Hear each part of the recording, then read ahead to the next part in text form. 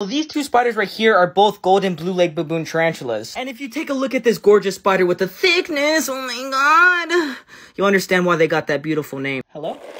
Hello? Oh, Jesus, man, what the hell Okay, so back to what I was saying. So the reason why this turd looking at mother trucker right here that's really mad for no reason looks the way he looks is because he was born ugly. Bruh. No, I'm just kidding. It's a male, guys. This tarantula right here is a male. And I'm able to tell it's a male because of those hooks it has on its legs. You see those things right there? I'm gonna touch them just so you know what I'm talking about. That thing right there, those are called tibial hooks. And that male tarantula will actually use those tibial hooks to secure the female tarantula's fangs. Yeah, I'm talking about this tarantula using its own legs as little hooks to get under the female tarantula's fangs, dude. Imagine being a male tarantula and having to stick your goddamn leg in the fangs of a freaking female tarantula that's trying to bite you like that, dude.